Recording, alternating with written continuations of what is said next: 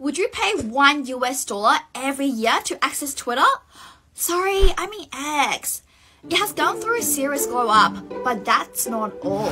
Well, they have rolled out a $1 annual charge for new users in New Zealand and the Philippines. The $1 charge translates to approximately $1.43 NZD and 42.5 Philippine pesos. So, what does that get you? Well, this subscription gives you access to all key functions, including tweeting, replying, retweeting, and liking. While new users who opt out of subscribing will only be able to take read-only actions, such as reading posts, watching videos, and following accounts. The single most important reason that we're moving to having a small uh, monthly payment uh, for uh, use of the X system is uh, it's, it's, it's the only way I can think of to combat uh, vast armies of bots.